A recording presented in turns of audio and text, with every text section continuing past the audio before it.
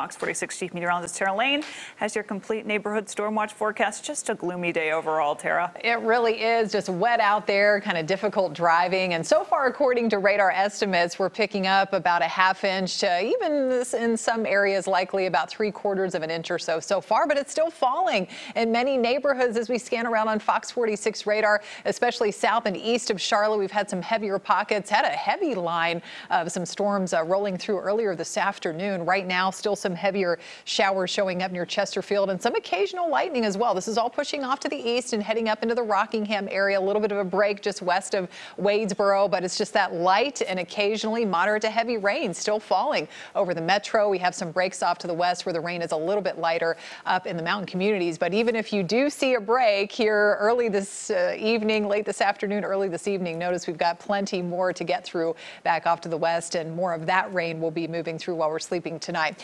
Temperatures aren't so bad out there, not as cold as they could be for this time of the year. We've got 53 degrees in the Queen City with that light northeast wind, a few chillier spots near the I-40 corridor, upper 40s, low 40s up in the mountains at Jefferson. And as we go through tonight, temperatures at least around the Charlotte area through South Carolina and even around the I-40 corridor generally stay above freezing. So we get this moisture moving through. It will stay as just that cold rain, but up in the mountains, it's going to be a bit of a different story. So meteorologist Elisa Raffa joins me now to talk more about what to expect through the night and early tomorrow in those higher elevations. Elisa. Yeah, Tara, as you mentioned, we've been dealing with that rain all day, right? And on the road hazards, you can see things are green, meaning they're mostly wet. You still have some ponding issues over to the east where some of that heavy rain and the thunderstorms has gone. But as we go through uh, the overnight hours here, we're expecting uh, some of these temperatures to dip a little bit closer to freezing, where we've got these temperatures that will get closer to freezing near that uh, I-40 corridor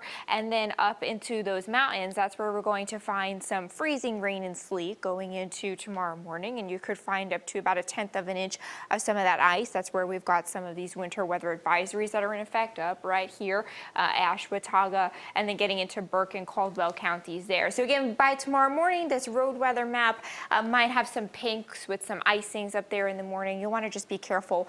Bridges, overpasses, sidewalks, those things get uh, slick first, especially those bridges, because that cold air can wrap around the bridge, and that's where you can get some of that rain to kind of freeze on contact because that bridge is a little bit colder. So we'll have to watch out for that going into tomorrow morning and then things dry up briefly tomorrow afternoon, but Tara, we're not done. This is just one of multiple storms that's going to roll through going into next week, right? I know. We get that little bit of a dry break tomorrow afternoon. It's not going to be back to sunshine, though. We're going to keep it on the cloudy side over the next uh, several hours. Some areas of fog out there as well. But the rain, a little bit of a break from that until later on tomorrow evening and then going into the night and early Saturday. So hour by hour rain chances tomorrow a little bit higher earlier in the day, and then they do get much lower a little bit later in the day. And uh, as we fast forward into Valentine's Day, again, with more periods of rain on the way through Saturday, a little bit more of a dry break. It's not going to be completely dry, though. Just a couple of lingering showers will be possible. Those temperatures around 50 degrees, but